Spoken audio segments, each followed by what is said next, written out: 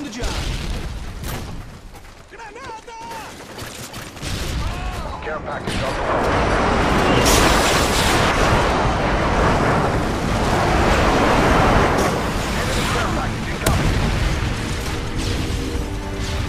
Appreciated. Well done.